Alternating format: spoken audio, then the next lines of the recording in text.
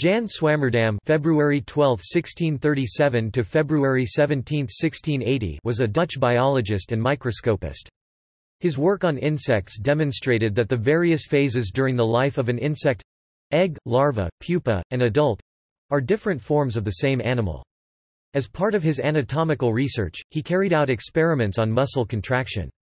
In 1658, he was the first to observe and describe red blood cells. He was one of the first people to use the microscope in dissections, and his techniques remained useful for hundreds of years.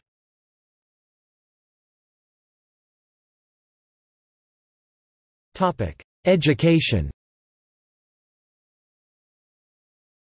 Swammerdam was baptized on 15 February 1637 in the Oude Kerk Amsterdam. His father was an apothecary, and an amateur collector of minerals, coins, fossils, and insects from around the world. His mother Bertje Jans Corvers died in 1661. As a youngster Swammerdam had helped his father to take care of his curiosity collection. Despite his father's wish that he should study theology Swammerdam started to study medicine in 1661 at the University of Leiden. He studied under the guidance of Johannes van Horne and Franciscus Silvius. Among his fellow students were Frederik Ruysch, Reinier de Graaf and Niels Stensen. While studying medicine Swammerdam started his own collection of insects. In 1663 Swammerdam moved to France to continue his studies. He studied one year at the Protestant University of Saumur, under the guidance of Tanaquil Faber. Subsequently, he studied in Paris at the Scientific Academy of Melchisedech Thévenot. 1665 he returned to the Dutch Republic and joined a group of physicians who performed dissections and published their findings. Between 1666 and 1667 Swammerdam concluded his study of medicine at the University of Leiden. Together with Van Horne he researched the anatomy of the uterus. He used wax injection techniques and a single-lens microscope made by Johannes Hudde. The result of this research was published under the title Miraculum Natura sive uteri muliebris Fabrica in 1672. Swammerdam received his medical doctor in 1667 under Van Horne for his dissertation on the mechanism of respiration, published under the title De Respiratione Usuque Pulmonum.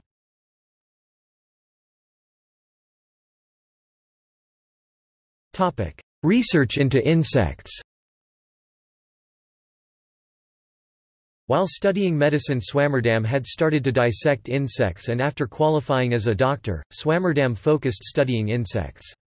His father pressured him to earn a living, but Swammerdam persevered and in late 1669 published Historia Insectorum Generalis Ofte Algemeen Verhandeling van de Bloedeloos Dierkens The General History of Insects, or General Treatise on Little Bloodless Animals. The treatise summarized his study of insects he had collected in France and around Amsterdam. He countered the prevailing Aristotelian notion that insects were imperfect animals that lacked internal anatomy. Following the publication his father withdrew all financial support. As a result, Swammerdam was forced, at least occasionally, to practice medicine in order to finance his own research. He obtained leave at Amsterdam to dissect the bodies of those who died in the hospital. At university Swammerdam engaged deeply in the religious and philosophical ideas of his time. He categorically opposed the ideas behind spontaneous generation, which held that God had created some creatures, but not insects. Swammerdam argued that this would blasphemously imply that parts of the universe were excluded from God's will. In his scientific study Swammerdam tried to prove that God's creation happened time after time, and that it was uniform and stable.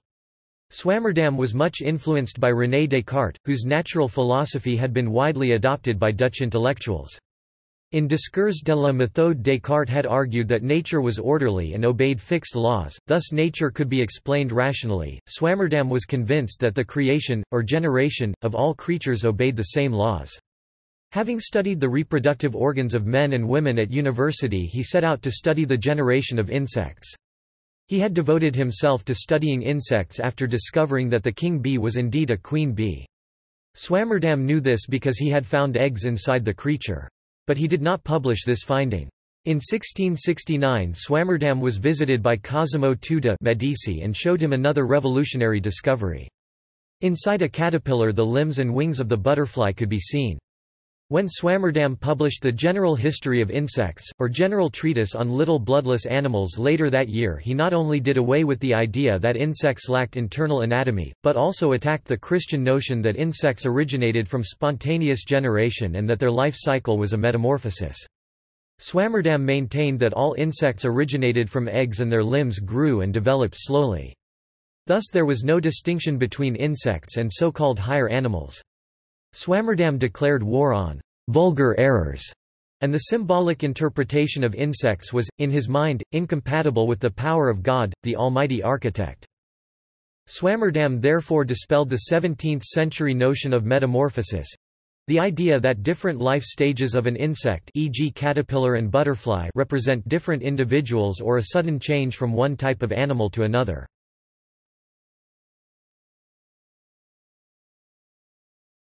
Topic: Spirituality. Swammerdam suffered a crisis of consciousness. Having believed that his scientific research was a tribute to the Creator, he started to fear that he may be worshipping the idol of curiosities. In 1673 Swammerdam briefly fell under the influence of the Flemish mystic Antoinette Bourignon. His 1675 treatise on the mayfly, entitled Ephemerae Vitae, included devout poetry and documented his religious experiences. Swammerdam found comfort in the arms of Bourignon's sect in Schleswig-Holstein, but was back in Amsterdam in early 1676. In a letter to Henry Oldenburg he explained, I was never at any time busier than in these days, and the chief of all architects has blessed my endeavors.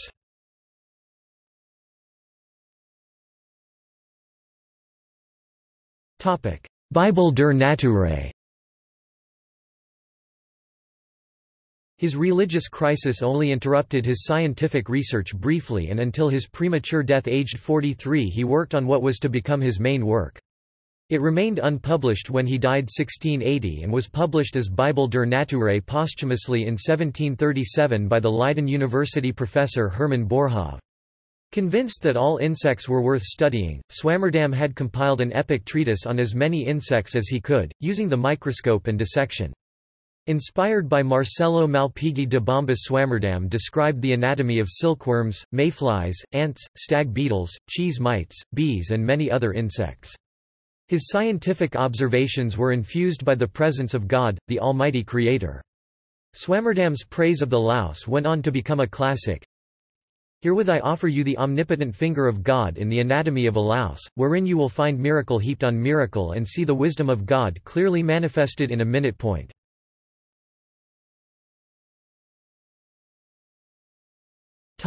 Research on bees In Biblia Natura the first visual proof was published that his contemporaries had mistakenly identified the queen bee as male.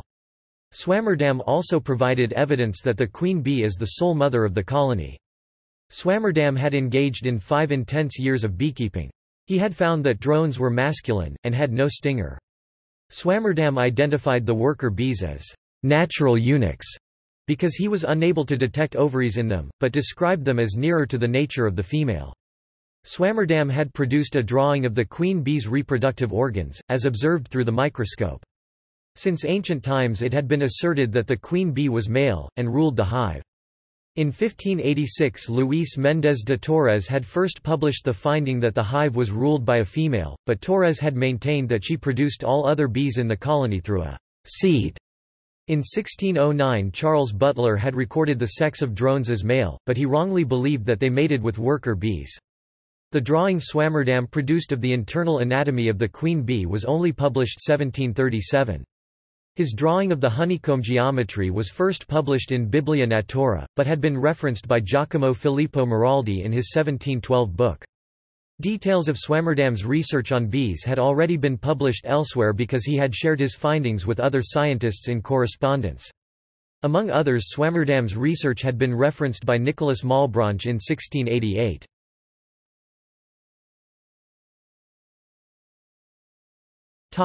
Research on muscles In Biblia Natura Swammerdam's research on muscles was published. Swammerdam played a key role in the debunking of the balloonist theory, the idea that moving spirits are responsible for muscle contractions. The idea, supported by the Greek physician Galen, held that nerves were hollow and the movement of spirits through them propelled muscle motion. René Descartes furthered the idea by basing it on a model of hydraulics, suggesting that the spirits were analogous to fluids or gases and calling them animal spirits. In the model, which Descartes used to explain reflexes, the spirits would flow from the ventricles of the brain, through the nerves, and to the muscles to animate the latter. According to this hypothesis, muscles would grow larger when they contract because of the animal spirits flowing into them. To test this idea, Swammerdam placed severed frog thigh muscle in an airtight syringe with a small amount of water in the tip. He could thus determine whether there was a change in the volume of the muscle when it contracted by observing a change in the level of the water image at right. When Swammerdam caused the muscle to contract by irritating the nerve, the water level did not rise but rather was lowered by a minute amount, this showed that no air or fluid could be flowing into the muscle. The idea that nerve stimulation led to movement had important implications for neuroscience by putting forward the idea that behavior is based on stimuli. Swammerdam's research had been referenced before its publication by Nicholas Steno, who had visited Swammerdam in Amsterdam. Swammerdam's research concluded after Steno had published the second edition of Elements of Myology in 1669, which is referenced in Biblia Natura. A letter from Steno to Malpighi from 1675 suggests that Swammerdam's findings on muscle contraction had caused his crisis of consciousness. Steno sent Malpighi the drawings Swammerdam had done of the experiments, saying when he had written a treatise on this matter he destroyed it and he has only preserved these figures. He is seeking God, but not yet in the Church of God.